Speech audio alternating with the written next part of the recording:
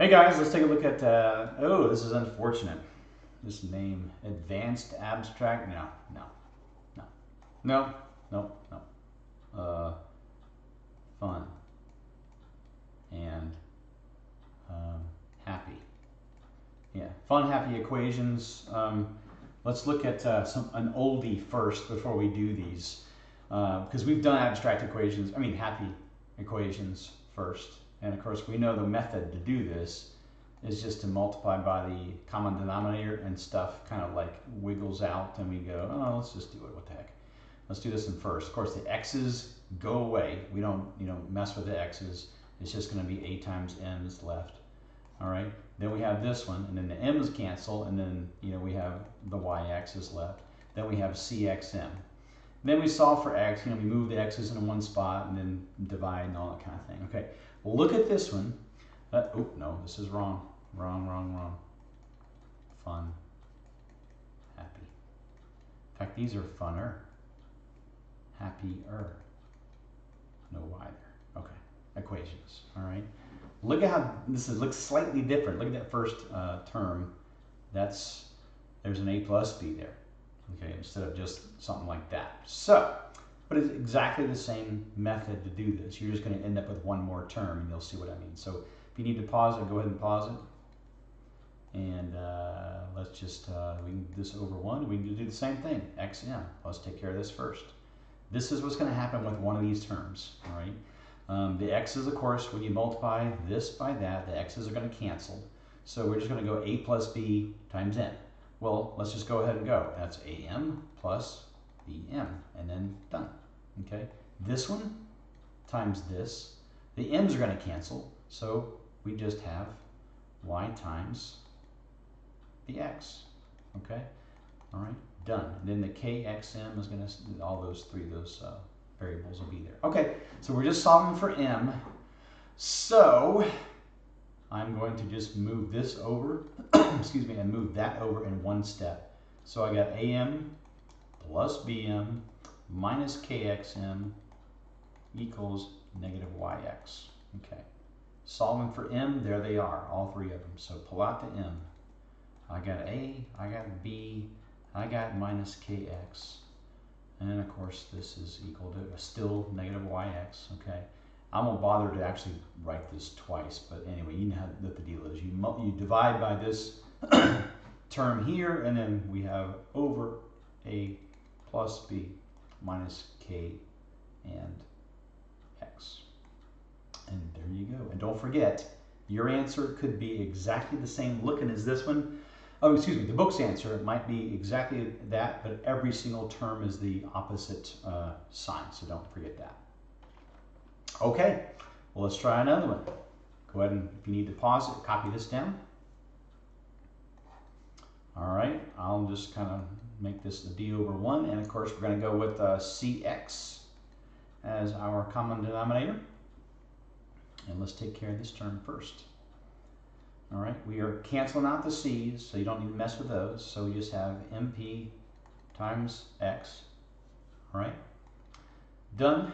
This one, the x's cancel out because there's an x on top and on bottom. So you just go d plus c times c. Okay, so let's just do it individual. d times c is dc, and then e times c is ec. Done, and then you get d times c times x in the last one. What do they want, x? All right, so I'm just going to do, again, I'm going to do this in one step. I'm leaving the mpx there. This one, I'm chunking over to the left side. There you go. These two to the right side. Minus DC minus EC. Okay. You're solving for X. We're pulling the X out. That'll be MP minus DC will equal negative DC minus EC. And of course, we know what to do. We just we just divide by that. So I'm just going to do it in one step here. So divide by MP minus DC and that is your answer for x. And the, here's a quick question. There's a negative DC, there's a negative DC. Can we cancel those out? No, don't try it. Okay, they're not being multiplied. They're just being, you know, they're, they're not multiplying. Don't try to cancel them out. Can't do it. So anyway, and again, don't forget, the answer in the back of the book might be DC plus EC over DC minus MP. That might be their answer. Okay, all right, here's a third type. We're gonna solve for A. Take a sec, copy down. Oh, what a mess. You see what's different about this one? Look at that, A plus B is on the bottom. So we're gonna get some interesting things here. Okay, first interesting thing is, you got uh, two parts to this, uh, you know, uh, common denominator. So it's going to be y times a plus b. I'll just put over 1. Okay. Well, let's try this one first. This is going to be the messy term here. The y's, of course, cancel out. So what you're going to have to do is go mx times a and then mx times b. Okay. So you'll get mx times a plus mx times b. Boink, done. Okay. This one is beautiful because the a plus b mess cancels. So that's gone, so you just have a d times a y. Done. Okay. This one, what I would do if I were you is just kind of visualize, you know, p times y as kind of one thing. So just write it as, or just kind of visualize p times y and then go, okay, I'm doing py times a and then py times b. So that makes it a little simpler. So py times a plus py times b, and yoink, there you go. Okay, so what are we solving for? Okay, a, so that has an a, that has an a, that's it. Okay, so again, I'm going to do one little, uh, I guess, one step here. So mxa stays there. Uh, pya gets moved. Done. Okay, that equals, I'm just going to go ahead and put my pyb first. Done and then these two get subtracted. So minus mxb minus dy, and then we're going to get the a by itself here. So a, and then that's times mx minus py, and I'm not going to bother to write this whole thing again. You know what to do. You just divide by this part right here. So I'll just go ahead and put that in the denominator over here. So divide by this, and there we go. That is your answer. And don't forget, the book might have every single one of those uh, terms in that fraction the opposite of what yours. If that happens, you're totally fine. All right. This the second part of this, of these uh, word problems that we've done before. Um, of course, look at the title of this, Word Problems and Quadratic Equations. Remember what a quadratic equation is, right? It has an x squared in it, okay? So what's going to happen is uh, this, you know, look at this type of problem. It looks familiar to you. you. It should. You know how to do these. The only thing that's going to happen differently is you're not going to get an equation that has, you know, uh, 4x minus 10 equals 12x plus 17 or whatever. What you're going to get is an equation where you have an x multiplying by an x, so you'll have an x squared.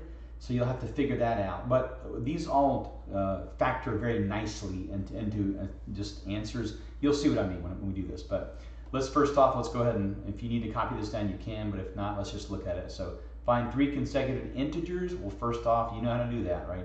There's your x, there's your x plus one, there's your x plus two. Okay. The product of the first and the third. Okay, let's stop right there. So the product of the first and the third, there it is. That's four greater, so don't forget your little, you know, your little seesaw there. This is four greater. You're gonna have to actually, you know, add 4 to the right side. So I'm just going to put an equal sign here. I'm just going to stick a plus 4 over here. Okay, 4 greater than, got it. Okay, so 4 times the second, there's the second. 4 times the second. Okay, there's our setup. All right. Well, look, look at that first multiplication. You know what's going to happen now, right? x times x will give you x squared now, and x times 2. Okay. 4 times all this will be 4x plus 4 and plus another 4. Okay. I'm just going to do this in one step here. So our, our aim here is to get it looking like x squared plus something x plus some number equals 0. That way we can factor it into two binomials and then set one of the each one of those equal to 0 and then we got our two answers. Okay, so let's actually, let's keep our x squared. Um, we have 2x here. We're going to move this 4x over, which makes it negative 4x, which means we're going to have negative 2x, 2x minus 4x, okay? This is an 8, of course. This moves over and turns into negative 8. Of course, now we have equals 0. All right. So these problems are pretty much contrived so where every single time this trinomial will factor into two nice binomials. So you can go ahead and set it up that way. All right, we got x, we got x, we got times is uh, multiplies to give you a negative 8, so it's going to be a plus and a minus, and it adds to negative 2, well, it's going to be plus 2 and then minus 4. Okay, so which means your answers will be, you know, negative 2, and then we have positive 4. But don't forget, they're looking for three consecutive integers, so as your answer, you're going to want to put negative 2, negative 1, and 0, you know, with one group. And then put 4, 5, 6 as the other group. So there are your two answers. Okay. All right. How's that? Okay. Let's try uh, A, the practice set, and then go ahead and pause it, and we'll come together in a second here.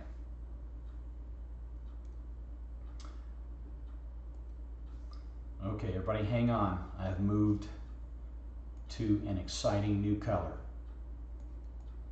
All right. Okay. All right, let's mess with this one first. The p's cancel out on this one, so you just have m plus s times the x. So I have the m times the x plus the s times the x gone. This one, uh, much nicer. I think the x's cancel out, so I have plus ap. This one, I have tpx. Okay. So, let's, in one step here, I'm going to keep my ap on the left. I'm moving this over, so that's minus TPX. That equals, and I'm moving everything else over to the right, so I'll subtract it. Okay, and I'm pulling the P out, so A minus, that will be TX equals the same old thing. And of course, you know the last step is to just divide by this, so I'll just not include the P there. So I'll just go ahead and write this in one step. So this is divided by A minus TX, and that is the answer to P. Real quick, you might go, what is this theoretical stuff? What is this good for? You know, when people are messing with things and, I don't know, doing experiments and, uh, you know, um, there are different variables to an experiment, the temperature, the weight, the, you know, the time, all these different things. Uh, chemistry, biology, even if you're messing with circuit boards, trying to make computer parts and things like that, it's helpful to be able to isolate one of the variables in the experiment or the setup or the test or whatever, and then manipulate everything else and see what you get for that one variable. This is just a way of you're being able to do that if you ever come across that someday. So anyway, all right. Well, let's try B, see what you get. So pause it.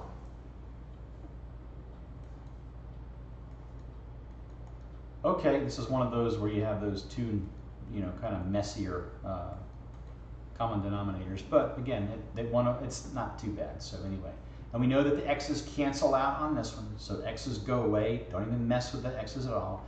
You're just going to go ay times m and then ay times z. So we have ay times m, ay times z. There you go. Boop, done. Okay. This one, nicely and beautifully, the m plus z cancels out. That's wonderful. So we have what, c times x? There we go. Boop, there we go. And again, look at this one as if the s and the x are kind of together, and then do each one of those. Okay, so sx times m, there's the first term. sx times z, that's the second term. Okay. What are we doing here? m's? Oh boy. Okay, here's an m. All right, there's an M, so I'm going to pull down AYM, gone. Uh, SXM, I'm going to move over. Everything else, we got, what do we got here? SXZ, and then minus AYZ, and then minus CX. Okay. All right, so let's pull out our M here. So we have AY and minus SX. Okay. And then you know the deal with the rest of this. You just take this part here and then stick it underneath this. And then so we have ay minus sx, and that is your answer for what m is, as opposed to all those other variables. Okay. All right. Well, let's try C. Uh, give that a whirl. Pause it, and uh, we'll come back together in one second. Okay, I'm really going crazy here. I picked another exciting color, so keep control out there, please. Okay. Three consecutive integers, there's the first, there's the second, there's the third. Product of the first and the third. So that's the first, that's the third. It's five greater, okay, so I'm gonna be adding five to this side. Five times the second is that, okay, there's the side up, okay. So let's do it. x times x is x squared, and then 2x. That equals 5x plus 5, and I got another 5. Okay, so let's just uh, keep the x squared where it is. We're going to move this 5x over. 2x minus 5x will be minus 3x. Now we have 10 total here. Move it over, turns into negative 10. And we have a nice equation here that we've done tons of these before already. So we just have to factor this thing into two binomials, x and then an x, and equals zero. So we got a plus here, we got a minus there. Um, two numbers that multiply to give you negative 10 and add to give you negative 3 is going to be a 2 and a negative 5. So we know our two answers will start with negative 2 and one will be positive 5. And don't forget, you're going to have three answers if it says, you know, three consecutive integers. integers. So negative 1 and 0, there's your first group. And then we got what, 5, 6, and 7.